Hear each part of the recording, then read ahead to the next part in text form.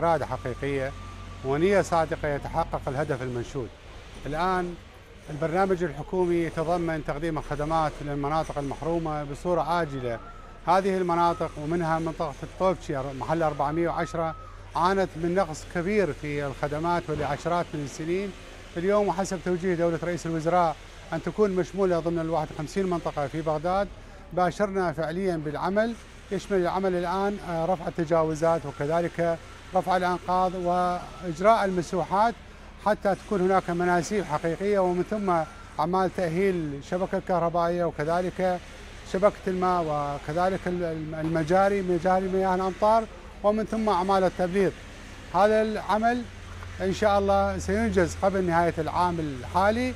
اليوم المنطقة كما ترونها هي منطقة عشوائية منطقة تعاني من نقص. الآن هناك سقف زمني إن شاء الله قبل نهاية العام الحالي. ستكون هذه المنطقة بحلة جديدة ويكون عملنا ليس فقط شعارات وإنما هو يكون على أرض الواقع من خلال أعمال نموذجية ضمن ضمن مواصفات فنية وكذلك ضمن سقف زمني قصير. إذا نحن نراهن على الزمن وكذلك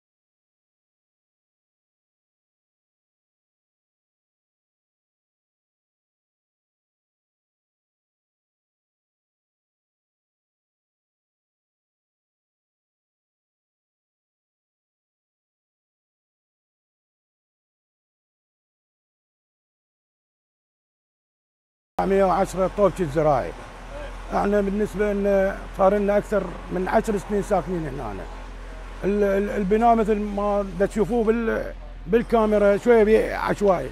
بس إحنا بدنا نحكي على الخدمات الخدمات كانت صفر. إحنا أكثرنا هنا موظفين دولة. أولادنا كليات. أطفال يروحون للمدارس. يعني هاي من كانت تمطر الدنيا.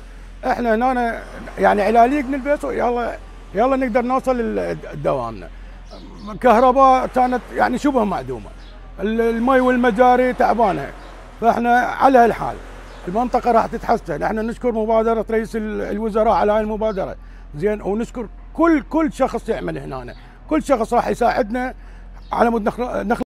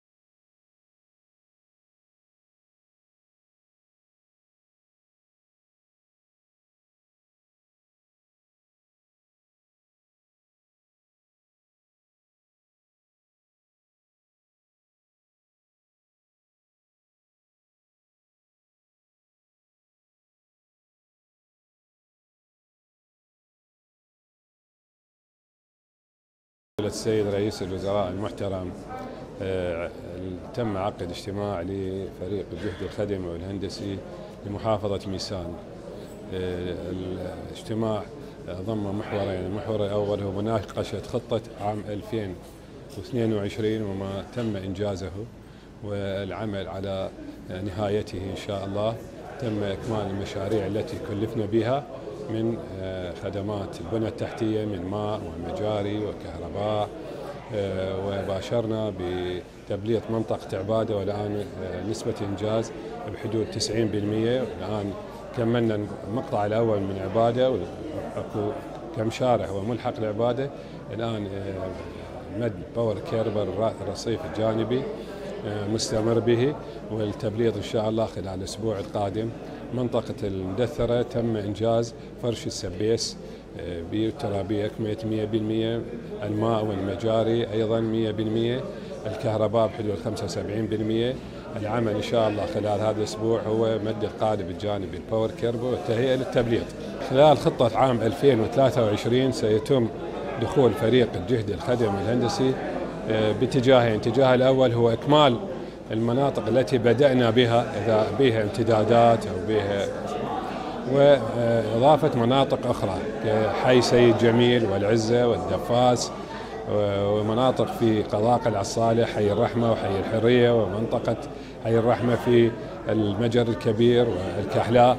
هذه المناطق اللي راح نستهدفها إن شاء الله آه، تتضمن العمل بها البنى التحتية وخدمات التبليط أيضا تمت مناقشة آه، نسب المشاريع لخطة 22 والتقدم بها وأغلبها هي المشاريع انتهت تقريبا إن شاء الله يعني في المراحل النهائية.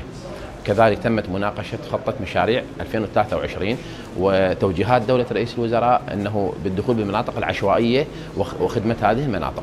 وكذلك ضفنا لهذا الموضوع أنه تمت إضافة أنه مدارس مراكز صحية لهذه المناطق العشوائية أيضا.